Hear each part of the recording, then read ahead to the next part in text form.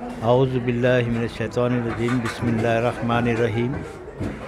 السلام علیکم ورحمۃ اللہ وبرکاتہ۔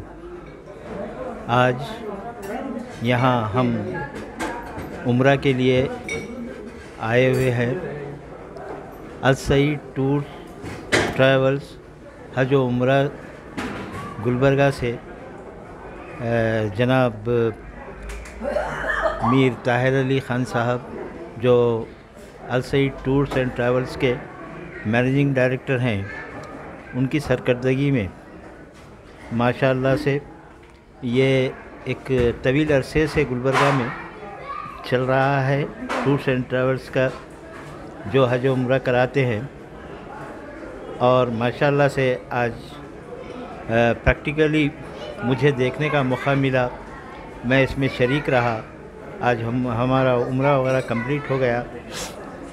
ماشاء اللہ بہت اچھی بات یہ رہی کہ جناب طاہر علی خان صاحب کا انتظام باعث فخر ہے ہمارے لیے، چونکہ وہ بھی گلبرگہ سے تعلق رکھتے ہیں اور ہمارے ساتھیوں میں سے ہیں۔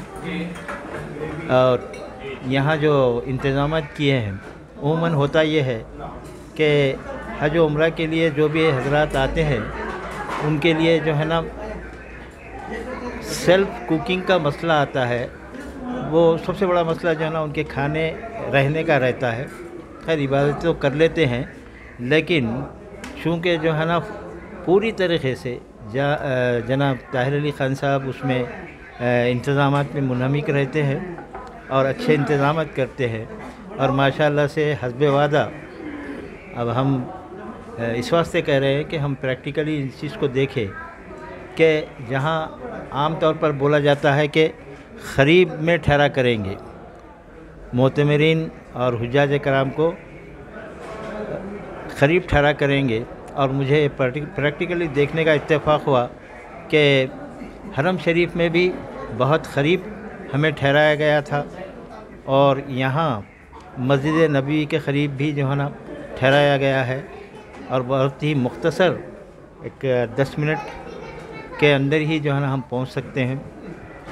تو بیرکب جو ہے نا، اللہ تعالیٰ کا فضل و کرم ہے کہ اس وقت جو ہے نا جناب میر طاہر علی خان صاحب ایک سو دس کا قافلہ معتمرین کا لے کے آئے ہیں اور سبھی جو ہے نا بخود بحسن، بخیر و خوبی جو ہے نا عمرہ ادا کیے ہیں اور سبھی کی زبان پر طاہر علی خان صاحب کا بڑا زیادہ چرچا اس واسطے ہے کہ میں بھی دیکھا ان کو کہ ہر موت ہر معتمر یہ سمجھتا ہے کہ طاہر علی خان صاحب اسی کی جو ہے نا بہت زیادہ خدمت کر رہے ہیں۔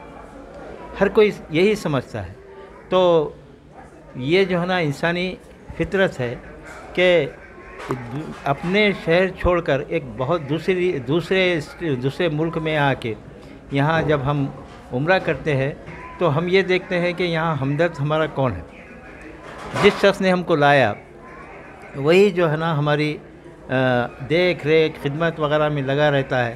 اور جو ہے نا یہاں پر کھانے کا بڑا اچھا انتظام ہے۔ مجھے گلبرگہ سے زیادہ جو ہے نا حیدرآباد یاد آیا کہ یہاں کا پکوان بہت اچھا ہے۔ تو ماشاء اللہ سے میں مبارکباد دیتا ہوں طاہر علی خان صاحب کو کہ وہ اسی طرح خدمت کرتے رہے اور اللہ تعالیٰ کی قربت حاصل کرتے رہے۔ میں آنے والے حضرات جو عمرہ کرنا چاہتے ہیں، حج کو جانا چاہتے ہیں، یہ آپ لوگ بھی جو ہے نا، طاہر علی خان صاحب proprietor Al Saeed tours and travels کا سے رابطہ پیدا کیجیے اور تمام تر جو ہے نا آسانیاں حاصل ہوتی ہیں۔ آپ کو بھی اللہ تعالیٰ حج و عمرہ نصیب کرے۔ اور مجھے امید ہے کہ انشاءاللہ آپ بھی جو ہے نا اللہ تعالیٰ کی مرضی ہے تو آپ بھی تشریف لائیں گے۔ بیر کا فتنہ کہتے ہوئے میں اپنی بات کو ختم کرتا ہوں۔ خدا حافظ۔